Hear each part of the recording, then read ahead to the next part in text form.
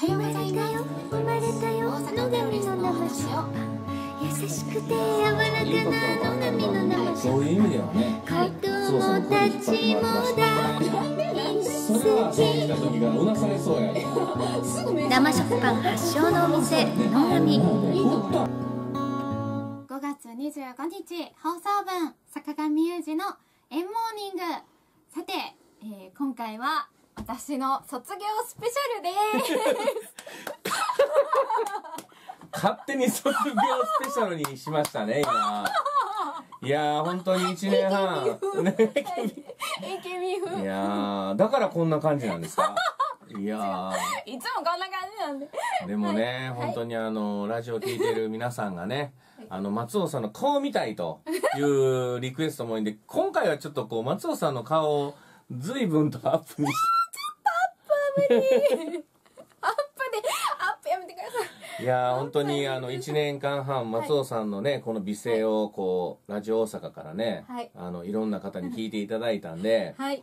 だいぶあの街中であのこの声って言われないですか？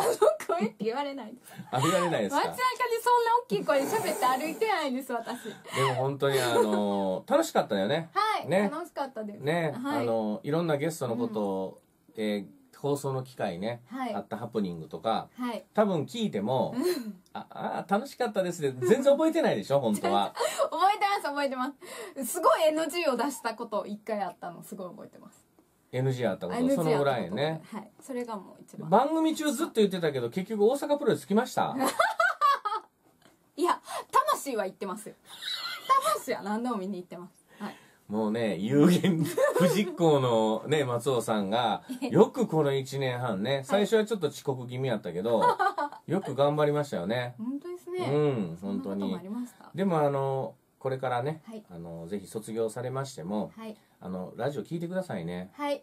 ラジコ入ってますか？ラジコ入ってます。入ってます、入ってます。ほんまに入ってる。ほんまに入ってます。それはほんまに入ってます もうね多分見ていただいたら分かると思うんですけどこのいい加減な B 型ですか？ちゃちゃちゃほんまに入ってますほんまに聞いてたんですよ。本当に聞いてました。ほんまに聞いてたんですよ、自分のあの荒探しのために。